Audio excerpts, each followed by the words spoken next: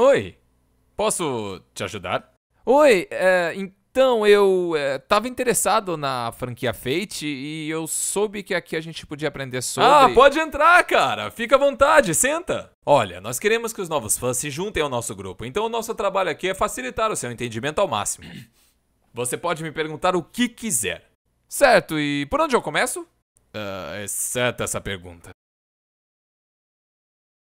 Ah, mas é tipo, não tem um começo? Você quer a versão completa ou a resumida? A resumida. Então, no começo havia Fate Stay Night, que é uma visão novel com três rotas diferentes: Fate, Unlimited Blade Works e Heaven's Feel, que precisam ser jogadas nessa ordem exata. Já a rota Fate foi adaptada uma vez pelo estúdio Jin como um anime lá em 2006. Agora, o Unlimited Blade Works já ganhou duas: uma vez pelo estúdio Jin em formato de filme e na outra em formato de anime feito pelo Fotable, que também está adaptando Heaven's Feel, mas só em uma trilogia de filmes e dos quais apenas o primeiro já foi lançado. Eu achei que você ia falar a versão resumida. Essa é a versão resumida. Então, tecnicamente falando como anime, a versão de 2006 é um começo e serve como uma boa introdução ao universo de Fate. Certo, então por que é que eu não posso começar por ela? Porque é um lixo. Ah. É, em termos de adaptação da franquia principal, só aquelas feitas pelo Fotable valem a pena, mas você não pode começar com Fate Stay Night Limited Blade Works porque aí tem spoilers de Fate Zero. O que é Fate Zero? Ah, é só um antecessor que se passa antes de Fate Stay Night e que serve como uma boa introdução ao mundo de Fate. Tá, então vou começar assistindo Fate Zero. Eu acho que não, porque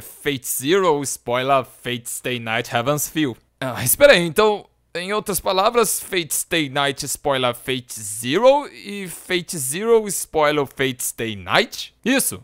Isso não faz o menor sentido. É por isso que você tem que ler a visual novel. Tá, e quanto tempo leva? Acho que umas 100 horas. Isso é um grande compromisso. Só leia a visual novel. Mas eu não posso ficar 100 horas... Leia a visual novel. Eu não posso. Leia a porcaria da visual novel.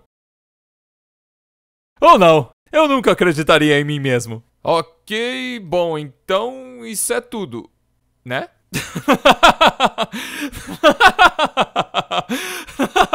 Não. Tem mais? Você quer a versão completa ou a resumida? Hum.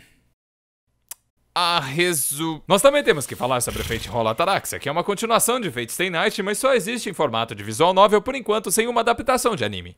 Ah, agora nós tivemos também o Fate Prototype, que é uma reimaginação do universo de Fate Stay Night, mas só foi adaptada em OVA de um episódio.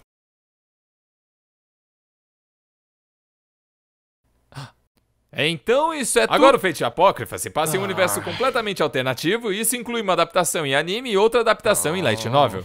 Ah, e é claro que temos o universo de Fate Extra, que é outro universo alternativo e ele inclui três jogos principais, o Fate Extra, Fate Extra Triple C e o Fate Extella. E é claro, ele também tem uma adaptação em anime, o Fate Extra Last Encore. Ah, certo. Então eu suponho que a única conexão entre todos esses seria essa menina loira com espada. Tá falando da Saber? É? Ah, não, elas são totalmente diferentes. Veja bem, a Saber original é o Rei Arthur, que na Lorde Fate, na verdade, é uma mulher. Agora, essas duas não são realmente o Rei Arthur, elas são personagens diferentes e que por acaso também são mulheres e que também por acaso pertencem à classe Saber. Beleza, então você tá me dizendo que essa não é a Saber original? Não. E essa? Também não. E todas essas? Só são personagens parecidas. Ah, e essas Sabers aqui também são completamente diferentes. Não, não, não, não, não. Olha só. Uma é a Red Saber e a outra é a Saber of Red. Entendeu? Não. É bem simples. Tá, e elas não têm nenhuma relação com a Saber original. Só a Saber of Red. Quer dizer, a Saber que é vermelha ou é a que se parece com a Saber? Ah. Sim.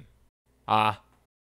Ela, na verdade, é o filho da Saber original. E a Saber, o Rei Arthur, é o seu pai. Opa, peraí, você acabou de me falar que elas eram todas garotas. É isso aí. Mas como é que. Ah, é basicamente a mesma coisa que o Rei Arthur sendo o pai no original, exceto que dessa vez o Rei Arthur ele recebe um pinto do Merlin e então ele é forçado a usar essa dádiva em outra mulher para que ela possa ter um filho e é aí que surge o nosso Mordred como um homúnculo padrão nascido de um estupro. Isso não é canônico. Ah, é sim. Se você quiser saber mais sobre a história dos servos, aí eu creio que o jogo Fate Go para o mobile é uma boa. Ah, eu posso me atrever a perguntar se eu devo jogar Fate Go? Depende. Você tem pilhas de dinheiro que queira gastar e incontáveis horas que deseja desperdiçar no ciclo interminável e insatisfatório de dar amor às suas waifus de Fate das quais você nunca vai ter elas de volta?